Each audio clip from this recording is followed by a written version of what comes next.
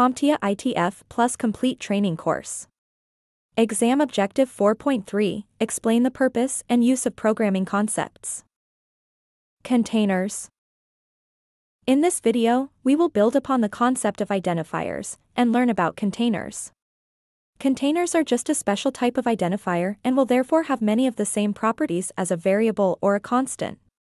Containers will still have a symbolic name that points to a specific location in the computer's memory. And these symbolic names will still help the computer keep track of different pieces of information, referred to as values. So how are these containers different from a standard identifier? Well, they are capable of holding more than one data element at a time. While a standard variable or a constant can only hold one data element at a time, a container can hold one, two, three, or more data elements simultaneously. Great, now we can break this topic down a bit more and focus on two specific container types, the array and the vector. But before I do, a quick disclaimer. For this topic I will be following the terminology and definitions provided in CompTIA's official study guide.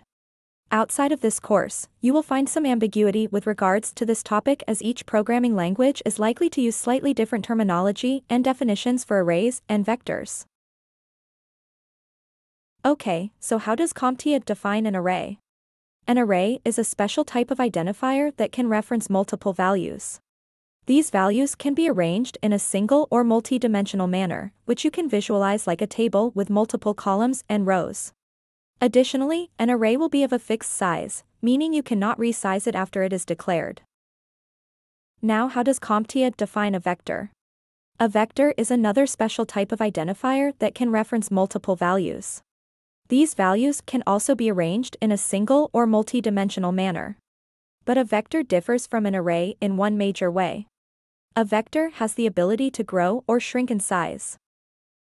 Now let's work with some very simple code starting with the review of a standard variable. In line 1, we declare a variable x by using the code x equals 5.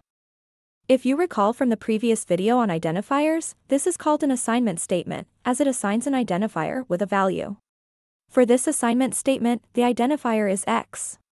This is the symbolic name that will be used by the computer to reference the value's stored location in memory. The equal sign here is referred to as an assignment operator as it performs the function of assigning a value, and 5 is the value being stored. Now, in line 2, we have a container. Here the identifier is numList. This is still considered an assignment statement, as it assigns a container with a set of values, in this case the integers 5, 6, and 8. And for one more example, we have a container that is given the identifier animals. This container is assigned multiple string values. Specifically cat and dog. So where do you use arrays and vectors outside of my example code? Well, just about any time a program needs to store a set of values. This could include storing a list of items, like the months of the year, or collection of data, like a list of strings containing customer names. And there you have it, the basics of containers with regards to computer programming.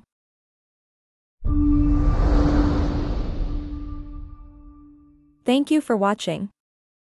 Subscribe for more great content.